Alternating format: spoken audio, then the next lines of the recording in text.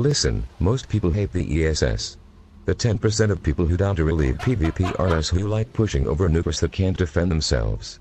Every time you get an ESS ping, or lose 30% of your income because you don't have 2 bill to drop on a pod, take these steps. Listen. 1. Hit escape. 2. Hit the thumbs down button. 3. Write a strongly worded message in the box that appears. 4. Hit send. We can't just do this once or twice then forget.